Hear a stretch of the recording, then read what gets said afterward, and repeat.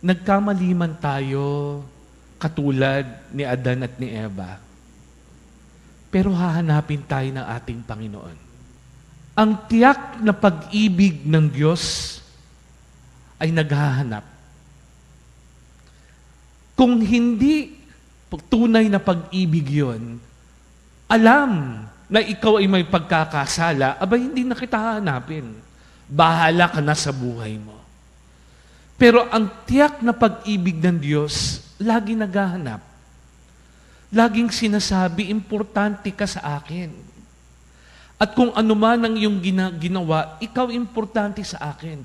Yun ang tiyak na pag-ibig ng Diyos.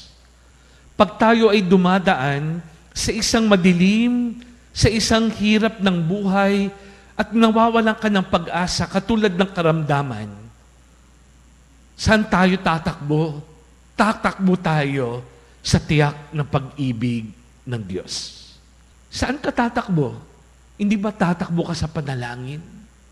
At sasabihin mo, Panginoon, huwag mong kakalimutan ang aking mahal sa buhay na may karamdaman.